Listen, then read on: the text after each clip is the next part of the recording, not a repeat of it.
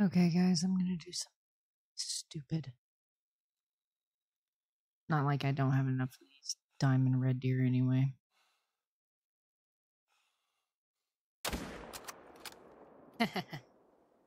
Maybe it wasn't so stupid. Hello and welcome back to my channel. My name is Falx Hunter, and if you're rejoining me after my long absence, thank you so much for coming back. I really appreciate it.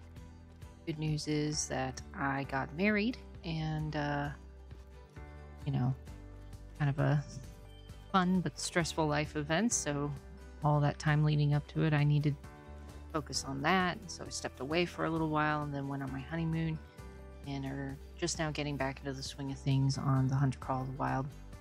Been working on my red deer grind. Still uh, hoping to get that uh, great one eventually. But um, I have also been trying the herd management technique that I've heard Scarecrow talk about quite a bit.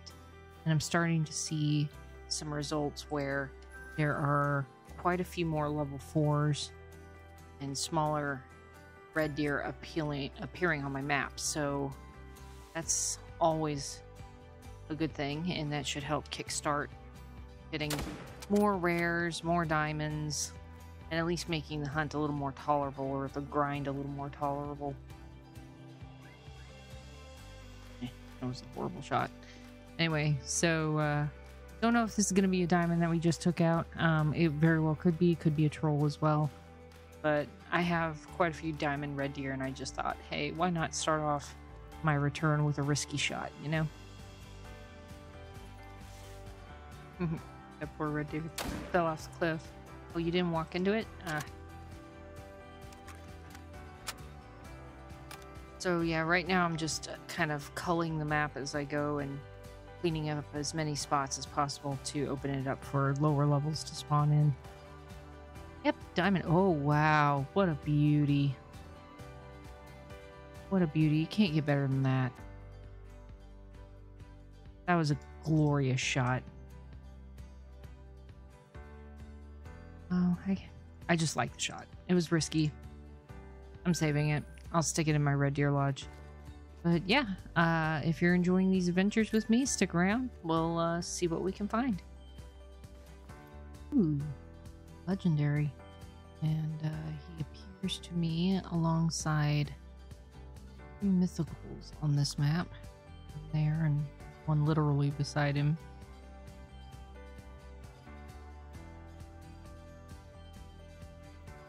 There's the other one, and there's him. Why do I feel like this rack is so much bigger than this one, and yet that's the legendary? It seems silly to me. I really hate that the mythicals are basically a dime a dozen now, and they're definitely not guaranteed to make diamond ever. No good. I mean, I would think that's a legendary rack, and that's just not. But oh well, I didn't write the coding.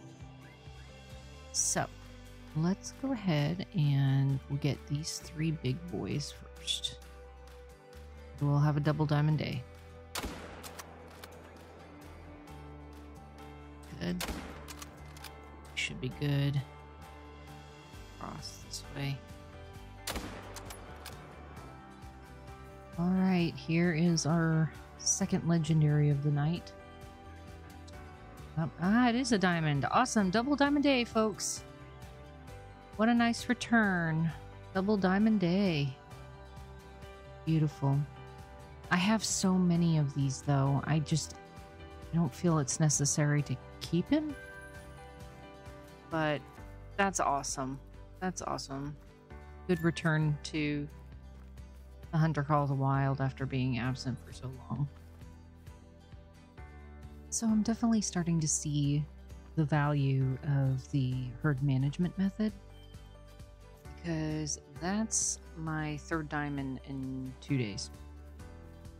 And uh, before I was trying this method out, I was not seeing anywhere near this degree of high level animals on my map. So it's definitely making the hunt more enjoyable. It's definitely making the grind more enjoyable. But I love how they just dropped from the sky. I've got a lot of culling to do right here to take out some of these level sixes, but uh, we'll get that going here in a second. But yeah, I think this method's working really, really well, and um, I'm glad we've become acquainted with it. And we will get this process rolling. Oh man. I didn't have to run away. Goodbye. I might jump over to my other tent and take care of those from that side. I really want him to come back. There we go. You gotta be so rude. Oh, come back, bro. Could try for another stupid shot.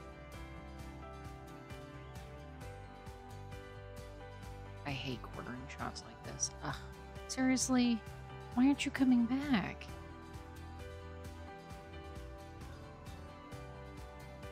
That's BS. Utter and complete BS. And they're all facing away from me. That's not making it easier.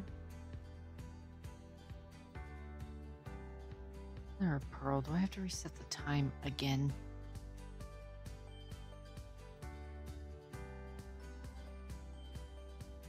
Come back, friend.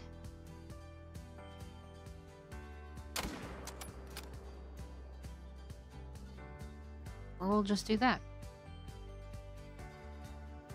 I mean, sure, why not?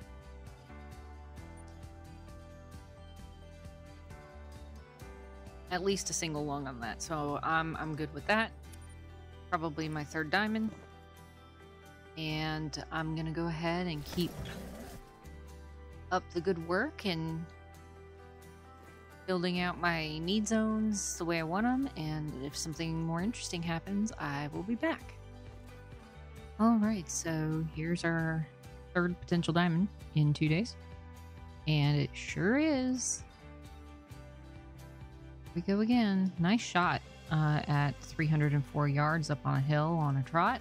Um, but, you know. Cool. Got so many diamond red deer though, I can't keep saving them. I will literally have no room for anything else. All right, on to the next area.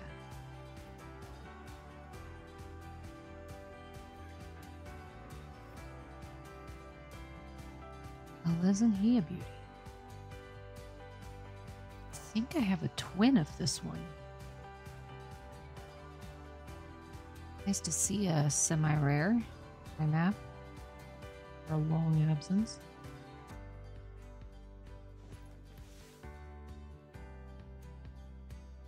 Right, friend.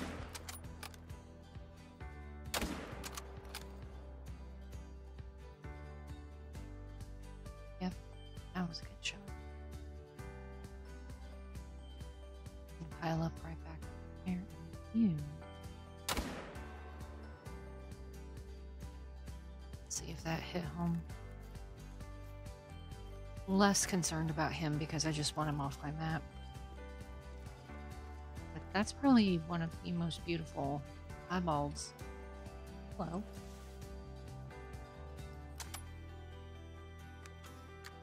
Not bolting. Anyway, that's probably one of the more beautiful piebalds.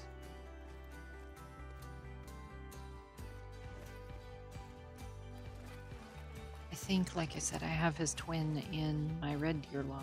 I have to go take a look at that.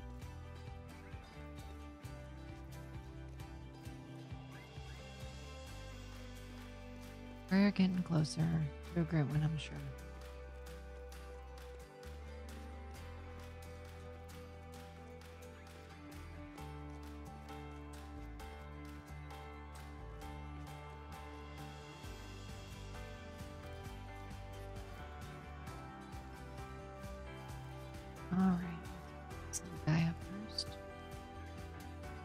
a little silver.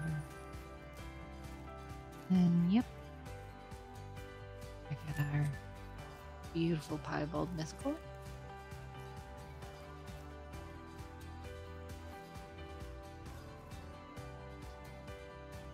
So definitely got a good shot on his lung, but he does have two different racks. He's a split rack, and I usually prefer the one on the left to the one on the right, but like I said, I think I've got one that looks exactly like this in my log. Yes, here we go. Oh no.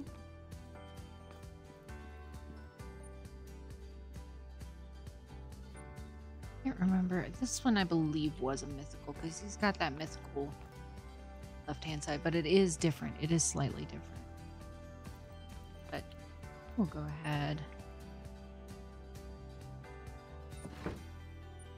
This one for this bigger boy we just got.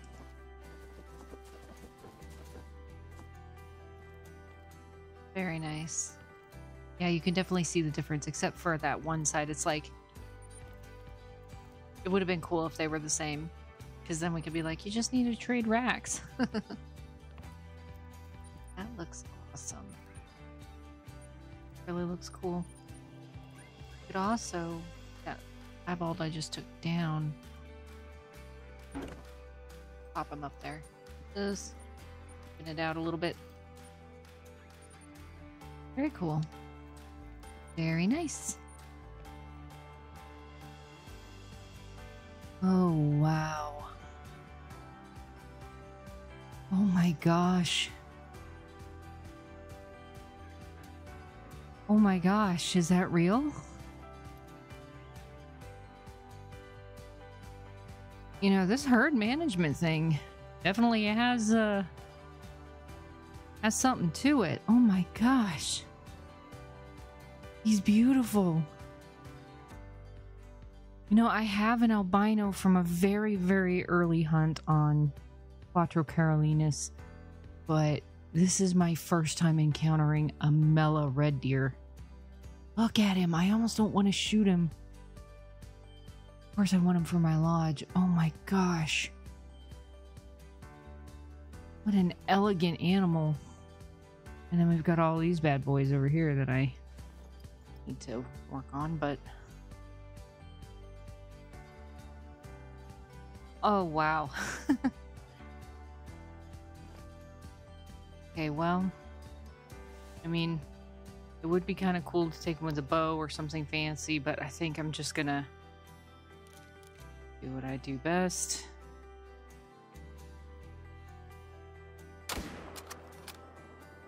Oh, I hate to see him go.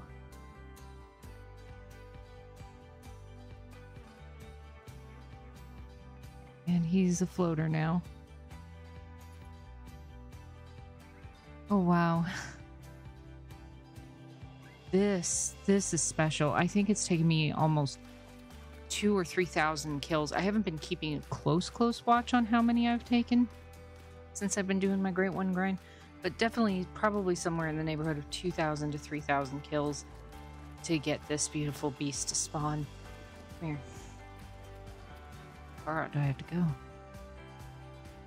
Right. I, well, I can't exactly get a picture of him because he's just floating, so I'm just gonna. Whoa! Hey, come back!